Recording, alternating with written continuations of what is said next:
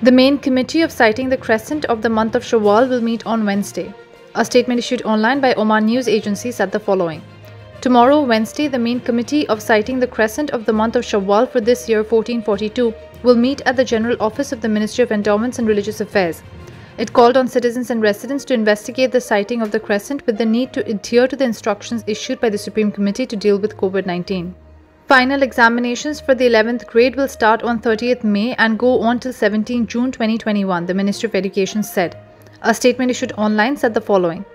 The ministry would like to warn that the date of the final exams for the 11th grade as an exceptional academic year has been brought forward so that the examinations will start on Sunday, May 30, 2021 and end on Thursday, June 17, 2021, while the examinations for grades 5 to 10 will remain as scheduled previously and will start on June 6, 2021.